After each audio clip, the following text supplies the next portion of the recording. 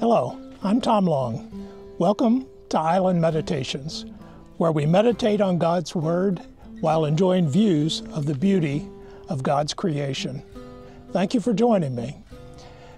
This week we're concluding a series where I've talked about the most important verse for the seeker, the most important verse for the new convert, and the most important verse for a believer.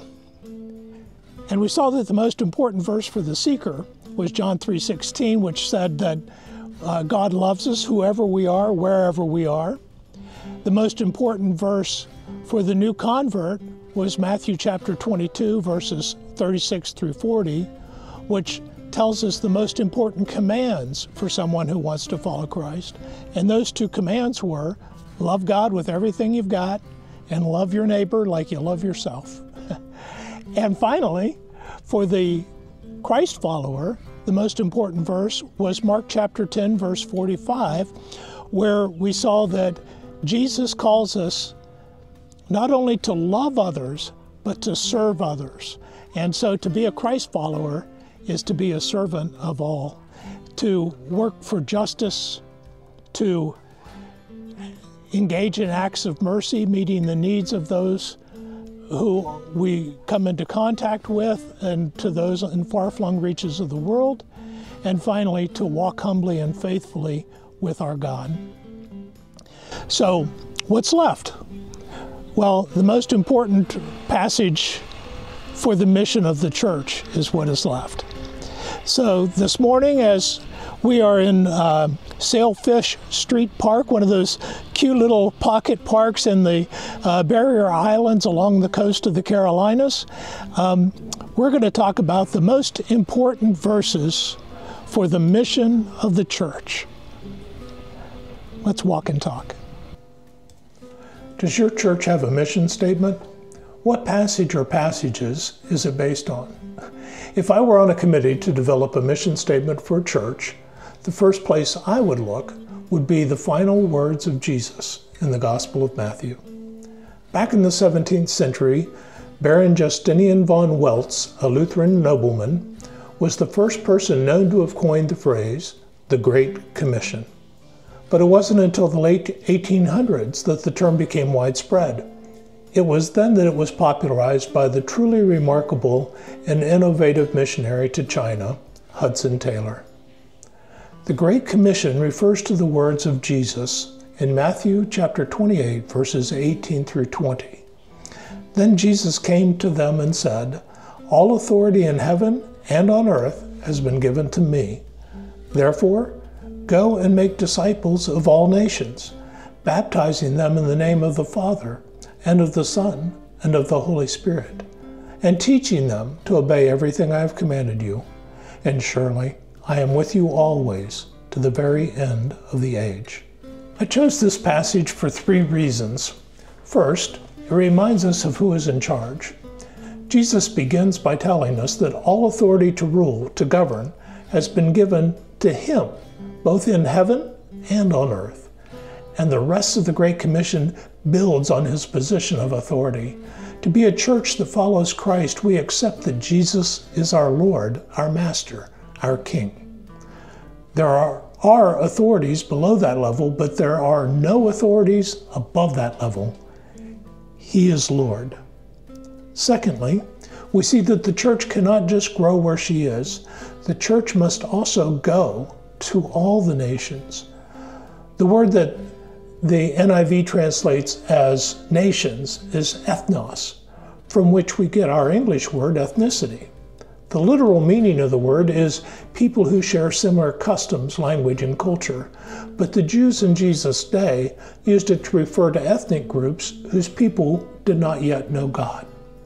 Multicultural ministry is not an option for the church. It is a command. and it makes sense, right? God sent Jesus because God loves the whole world. That's John 3:16.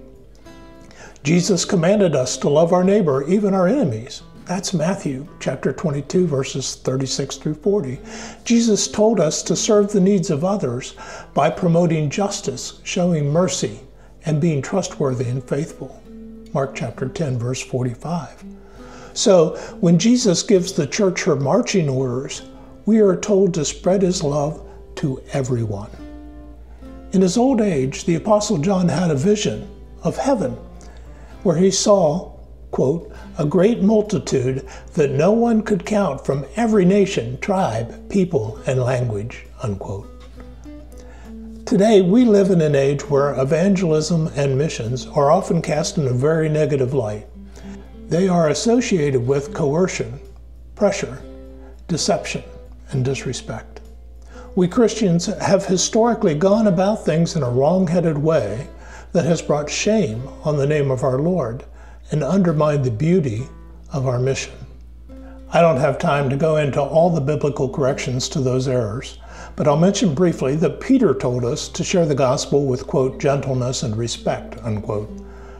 Paul told us not to engage in foolish arguments, but to gently instruct in, quote, the hope that God will grant them repentance, leading them to a knowledge of the truth, unquote.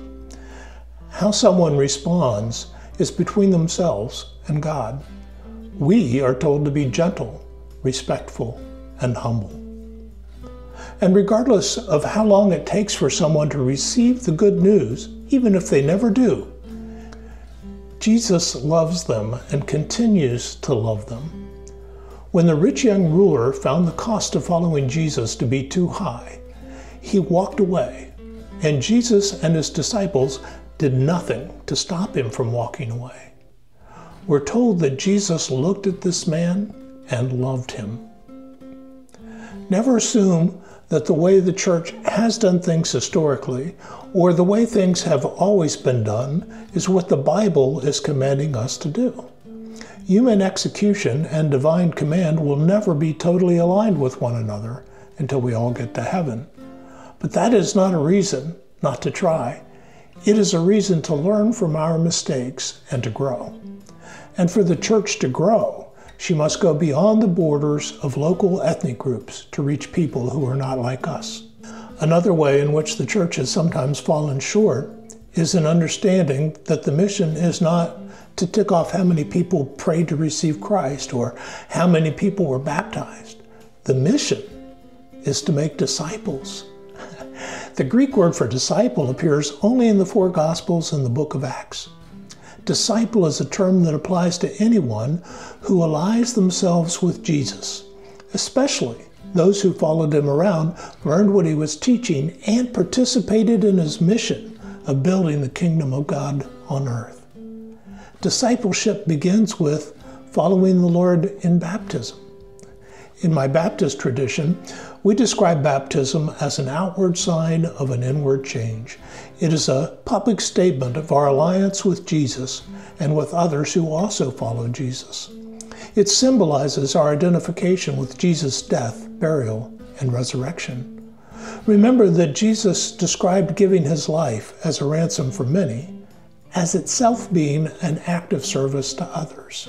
Not only does baptism depict our cleansing from sin and deliverance from death by Jesus' sacrifice, it depicts our identification with Jesus and the church in serving others.